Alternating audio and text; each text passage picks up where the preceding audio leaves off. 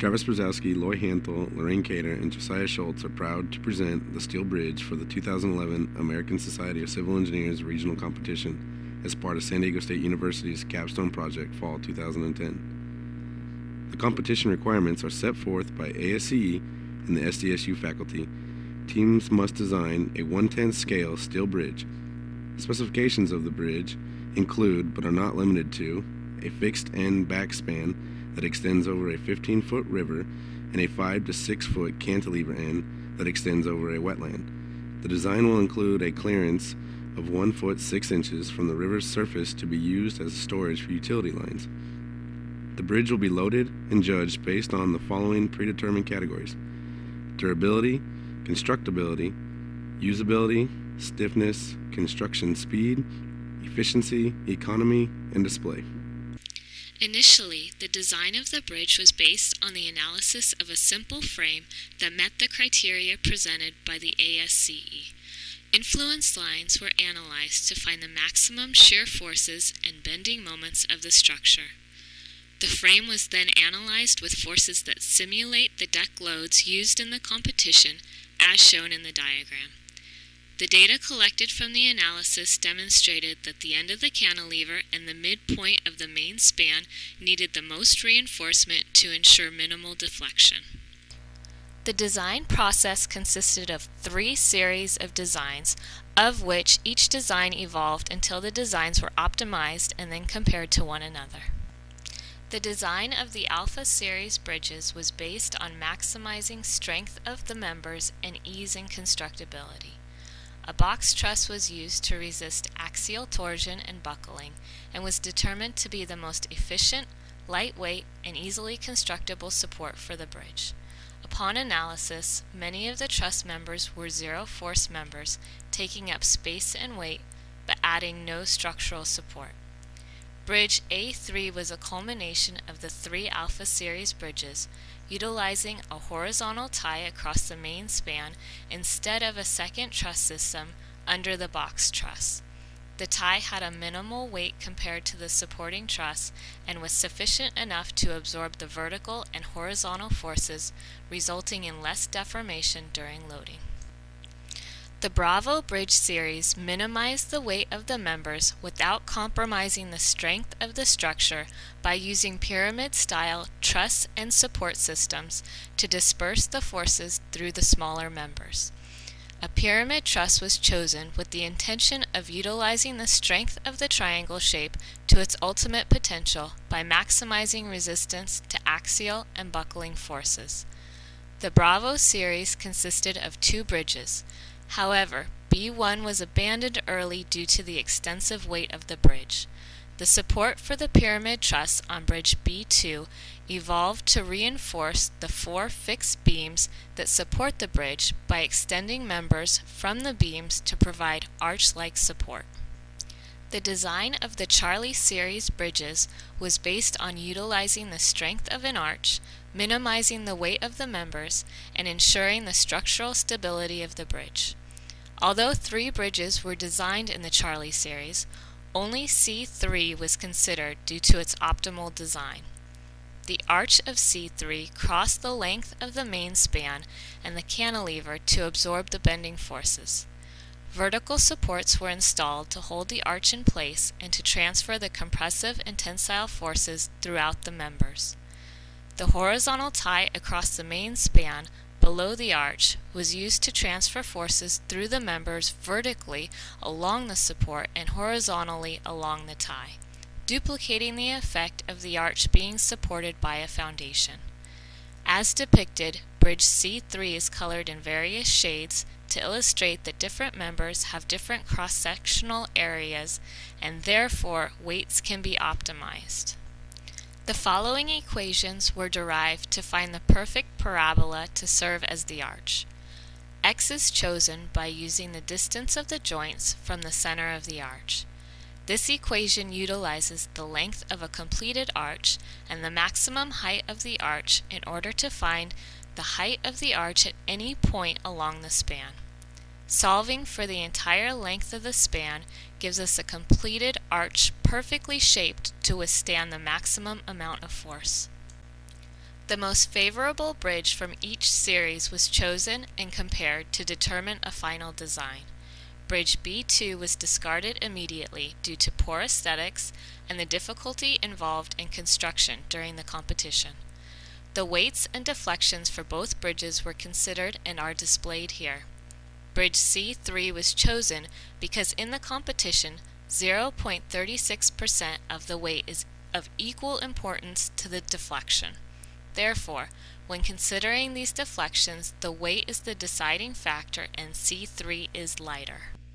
Bridge C4 combined elements from the Alpha and Bravo series bridges and continued the evolution of Bridge C3. The design and members from C3 was used to keep the bridge light and strong, but the arch was elevated to be welded along the truss. This was to satisfy the requirements of the perfect arch equation and to strengthen the connection of the arch to the bridge. The horizontal tie is reinforced with the vertical member allowing more forces to be absorbed while laterally reinforcing the tie. The truss is similar in design to bridge C3, however, it uses the spacing from bridge A1 to effectively lower the number of members used while providing sufficient support. This facilitates an easy construction and a lightweight design. Durability is the ability to withstand applied loads. While determining the durability of the design, there were two main concerns that needed to be addressed. The first was to optimize the smallest gauge steel in order to minimize our bridge weight. The second concern was to ensure that the steel used would remain in the elastic range, because as soon as the steel reaches the plastic range, it would deform at a fast impairment rate. Once the member areas were determined, the following three different types of steels were compared. ASTM A36 steel, alloy 1018 steel, and 1144 steel. The goal of this analysis was to find a type of steel that optimized both weight and the ability to withstand compression and buckling.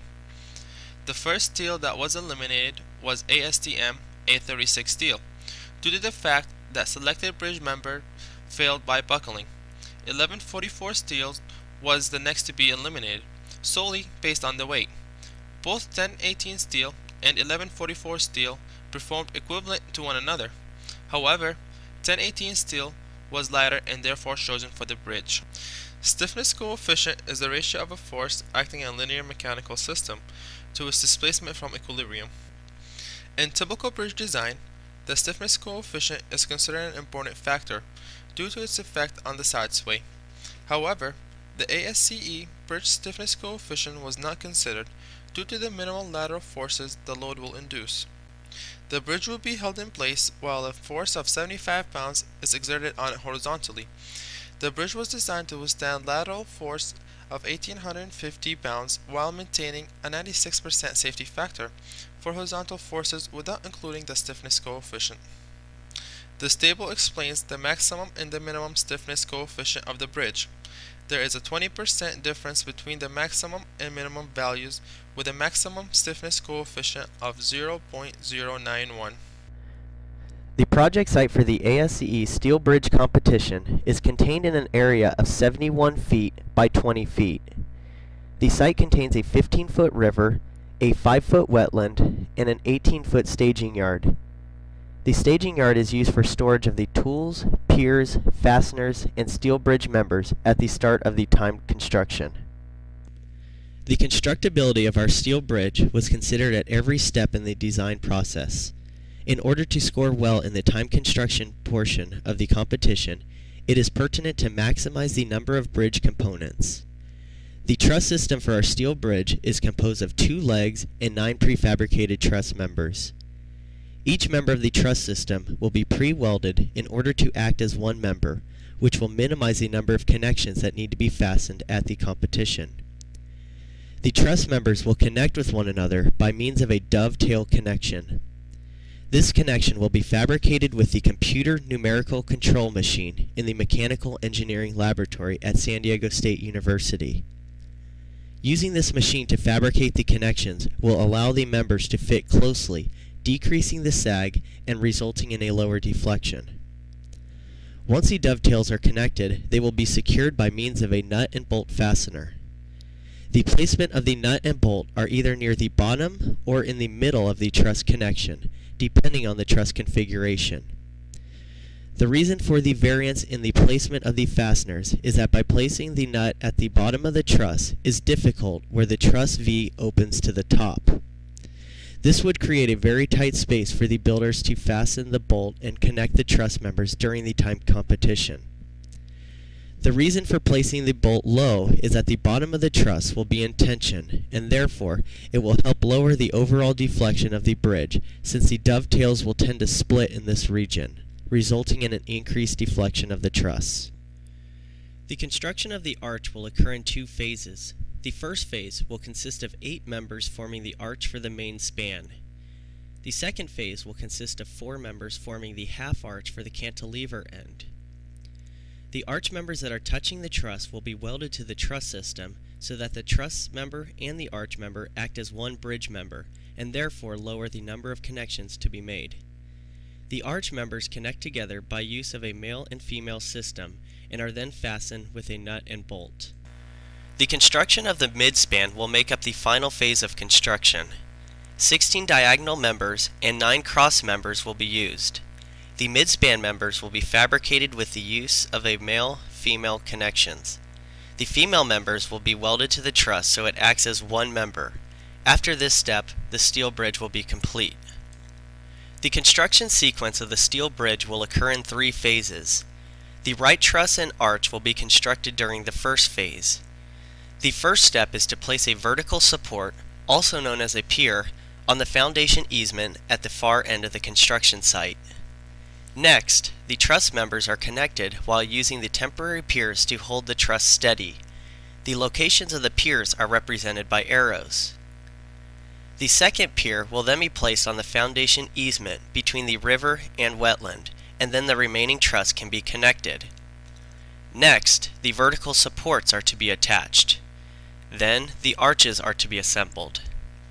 Finally, the vertical tie bar is attached, and then the horizontal tie bar is fastened. For Phase 2, these six steps are to be repeated for the left truss. After the two truss systems are constructed, Phase 3 will begin.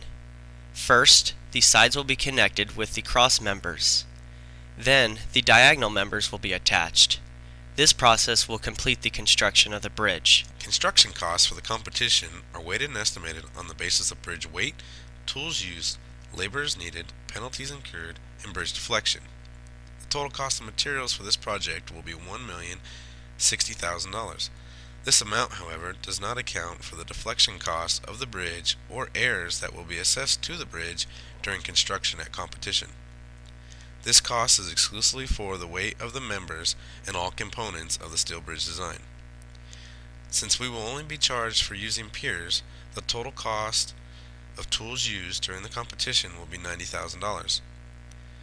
The total cost of labor for this project will be $300,000 due to the fact that we will utilize the maximum of six builders allowed in order to assure that we will be able to complete the time construction, including repairs, within 30 minutes.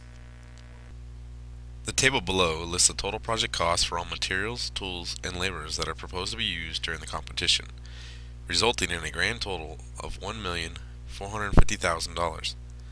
There are numerous benefits to competing in the steel bridge competition, some of which are a sense of accomplishment for oneself, team, and school. Securing a win in the competition will put SDSU on the National Civil Engineering map, which will also attract local sponsorships into San Diego State's American Society of Civil Engineers. This will in turn increase future enrollment into the school society. Finally, exposure to possible employers or employment will serve as a catalyst to the student's future and career. The final step in the preparation of the bridge prior to conference is to suit the metal with its Fighting Aztec colors.